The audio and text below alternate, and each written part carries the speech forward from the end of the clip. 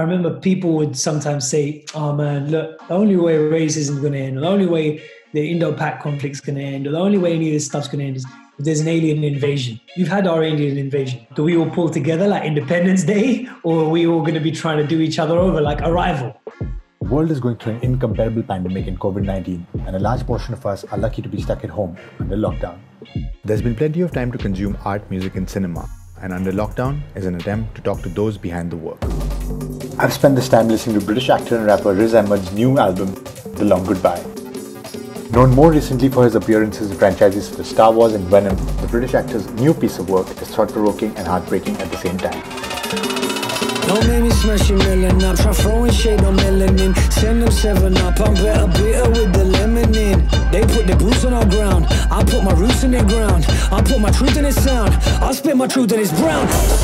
I reached out to Riz to talk about the album, accompanying short film, A World Without Borders, and how he's been spending his time at home. I spit my truth in its brown. What have you been doing like at home? I feel like uh, I know you well enough watching all your lives recently. I know four o'clock is supposed to be meditation time, but you're not doing that according to last night's live. yeah, I mean, I'm talking to you instead, man. Uh, what am I doing? You know, I mean, it's tricky, isn't it? Because I think a lot of us are yo-yoing between these different states of mind. On the one hand, we feel like we're in this kind of bubble and we're in a giant sleepover. And on the other hand, it's like, oh, hang on a minute this is the opportunity for me to paint the spare room or to write that screenplay or to record that album. And then there's the other state of mind, which actually never really goes away, which is the creeping dread, which is the confusion, the anxiety, the fear, which just creates the, the foggiest kind of state of mind and actually makes it really hard, I think, to be um, productive or to be relaxed. It's tricky. I kind of bounce around between these different states of mind a lot. And I think a lot of people are feeling the same way. And that reflects in my days. So some days I wake up and I'll just be like, no, I'm just gonna like try and be still today and silent. And other days I'm like, right, let's do 15 phone calls. I'm gonna do 300 push-ups and yeah, let's do the whole thing. So it's confusing, man. This is unprecedented. Um, I had known of all of your previous like music stuff and then Swet Shop Boys and at the same time the Night Of and then Star Wars, Venom, and then you've come back to this. So it feels like you want to keep tying back to music. Is that like not conscious like thing that you're going for? Well, I guess music is a place where I get to write the script. You know, I get to direct the story. It's an unfiltered space for me to express myself. That's what it's always been. I think a big part of why I make music isn't necessarily to represent anyone, is to try and work things out that I need to get off my chest is to try and kind of untie knots that I've got in my head. And that's what music allows me to do as a space. But I think increasingly as an actor now that I get to kind of have more input into the projects I do or to help shape them a bit more, I think film is becoming that as well. Hey guys, how you doing? Thank you for tuning in. Uh, welcome back to the long lockdown. Talk about the theme of home and what it means to you. I've been watching all your like YouTube lives more or less. I really enjoyed the stuff with Hasan and Guz Khan. I really enjoyed Fatima and Nikesh's like contribution to the conversation yesterday. It's mad to expect that a place should be recognizable at all times.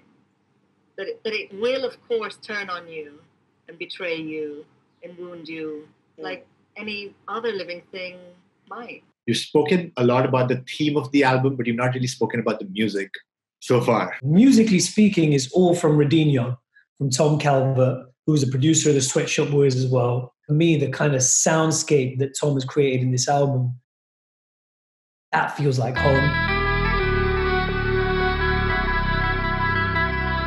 It's got all those influences from from garage to drum and bass to qawwali to Bollywood. You know, this is all the different parts of me um, brought together into a kind of new language that, that is my own. I'm like Dum Ali Ali Ali. For Nusrat Ali, Muhammad Ali and Machiavelli Trying to put packies on the telly.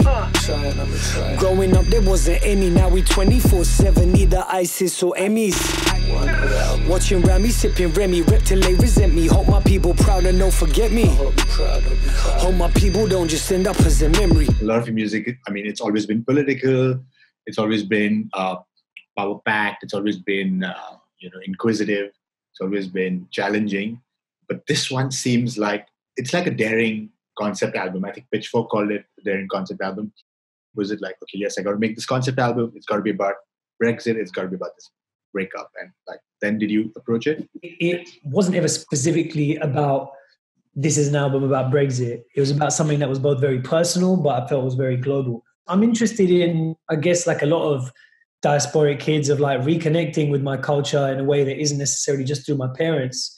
This idea for using the metaphor of a heartbreak kind of came from that tradition, from that Sufi tradition, from that Qawwali tradition, that separation from the beloved um, being a metaphor for, in that case, the divine, but in this case, your country. You know, I've had a lot of feedback from people in India and the Philippines and Hungary and you know, all saying, you know, I feel like I'm going through a breakup with my country. I think a lot of people are feeling that. It's a very kind of global sentiment. I say that it's it's the kind of other global pandemic that we're facing. You know what I mean? And actually, on the back of Corona, we have to be even more mindful of how people, certain groups, are scapegoated, surveilled, marginalized, um, and how it might lead to a world of even more closed borders and fear of the other. Did they ask you where you're from? Where are you really from? The question seems simple, but the answer's kind of long. I could tell them Wembley, but I don't think that's what they want, and I don't want to tell them more because anything I say is wrong. Obviously, the theme of borders and identity, and it's recurring through your uh, music and a lot of, I mean, the short films and stuff, specific to COVID and like Corona, like this time that we're in. Borders just seem absolutely irrelevant. It's strange, isn't it? Because borders seem more meaningless and more uh, consequential than ever before. I think the experience of um, people stuck on the wrong side of a border or stuck in a country not of their own or the experience of people in Sweden and how that might differ from experience of people in Italy is is huge. On the other hand, of course, like you know, the things that really matter, whether they're tsunamis or wars or you know art or viruses, they don't respect borders. Borders are invisible to them, and the only way that we can kind of um, really engage with this crisis is by disregarding borders to some extent, right? I remember people would sometimes say, "Oh man, look, the only way racism is going to end, the only way the Indo-Pak conflict's going to end, or the only way any of this stuff's going to end is if there's an alien invasion." We've had our alien invasion. Okay, that's happened now. Um, do we all pull together like Independence Day, or are we all going to be trying to do each other over like Arrival? What I would love to see is that society in the world that we rebuild after this isn't one that is based on fear, isn't one of closed borders, isn't one of pointing the finger, um, is one of recognizing our commonality, our common humanity.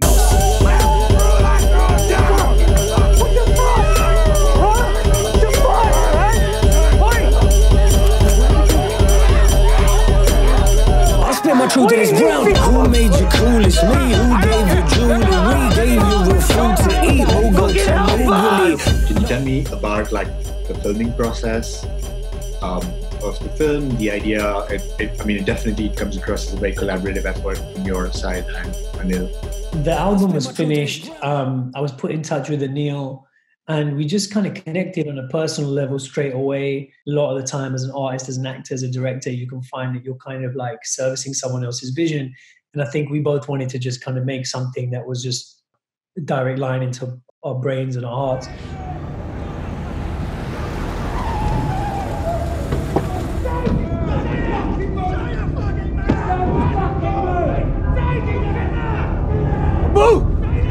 Abu! Abu! Sir John. Abu, get, get, get everyone together and get. They're rounding people up, man. It's happening. The reality is, is that the scenes portrayed in the short film they are happening right now.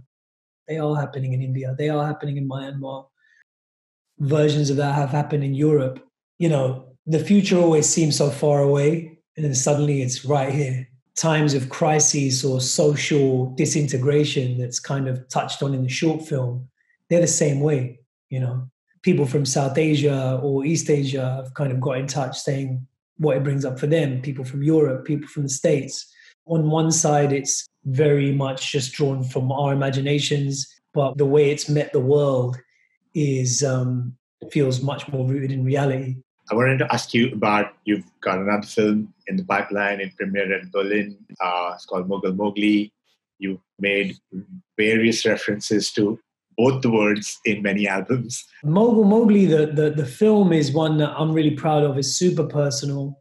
I think part of what I'm trying to do, what Bassam's trying to do, is kind of like try and find a, a grammar and a language for our experience. The idea of Mogul Mowgli, I guess, is like speaks to the the dichotomy of, of my identity and a lot of people's identity where you feel like you come from this rich heritage but your reality might be one of kind of being you know the lost man cub roaming the urban jungle wondering which which animal to emulate. And so you emulate the black panther. So you emulate you know the orangutan. You, you know you don't know um, really who you are but you know you came from somewhere that was better than this or you were told was better than this. I don't know. I think a lot of time you make personal stuff or I make personal stuff because I just want to get something off my chest.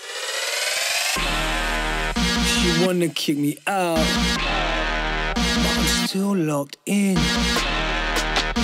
What's my name? Put 'em up, put 'em up. She wanna put the walls up. Uh-huh. She wanna build a border. Uh-uh. She ain't got no more love. Put Put 'em up, put put 'em up. She wanna call the feds up. She wanna see me get. She wanna see me dead. Uh, thank you for doing this. Uh, there's one thing, everyone who I'm doing kind of like this video call with, I kind of grab my camera and try to do like a portrait across the screen. Mind if you don't mind that. Sure, come on. Okay, camera. Thank you. Sing. Talk about tick. Talk tick. Sing. Uh,